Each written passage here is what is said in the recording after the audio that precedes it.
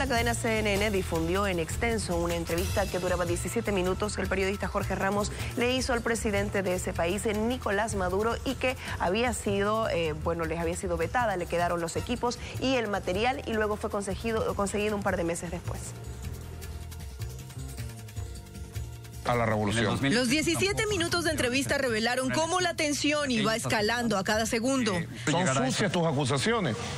Son sucias, muy sucias tus acusaciones. Quiero llegar a eso. En, su país. Es muy sucia. Tu, entrevista ha tomado el camino de la suciedad. Hasta el punto en el que Maduro incluso intentó intimidar a Jorge Ramos cuando éste le preguntó por los muertos en las marchas lideradas por la oposición. Si fueras venezolano, tendrías que enfrentarte con la justicia porque tú estás haciendo afirmaciones falsas de casos que están estoy dando datos de gente que fue asesinada estás por, haciendo, mira, gente ligada No tiene ningún sentido. Finalmente, lo que quebró a Nicolás Maduro fue el momento en el que el periodista Jorge Ramos quiso mostrarle estas imágenes. Como estamos en la situación que estamos, imagínese usted. Déjame enseñarle el video de lo que yo vi ayer.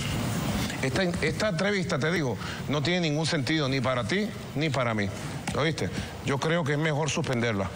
¿Oíste? Te agradezco todo. Hasta luego. Gente... No tiene ningún sentido esta entrevista ni para ti. Los equipos fueron confiscados, los comunicadores deportados y la entrevista completa solo vio la luz hasta ahora, cuando la cadena Univisión recuperó las imágenes con ayuda de fuentes anónimas.